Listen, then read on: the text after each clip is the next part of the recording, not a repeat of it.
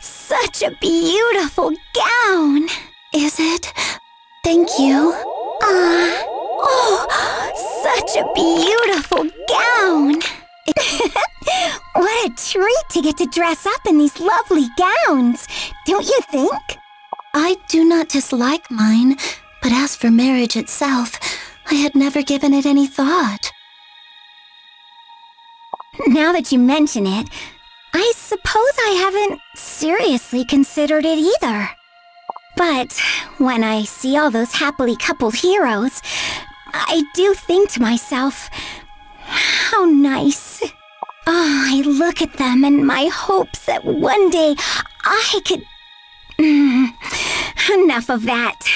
When you are to marry, you have to consider how the situation would impact the future king.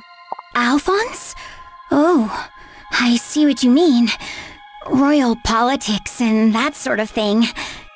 I wonder what sort of person the prince is likely to marry.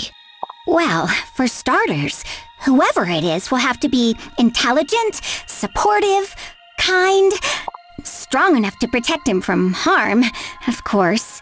Ah, Princess Sharena, you are the image of an overbearing sister-in-law. How rude! Well, I'd feel the same if Bruno were here. See? You're no different from me. Perhaps, but we should focus on finding good companions to marry, not making and fulfilling checklists. You're right. During the festival, I'll focus on what it means to be a bride. Very well. So shall I.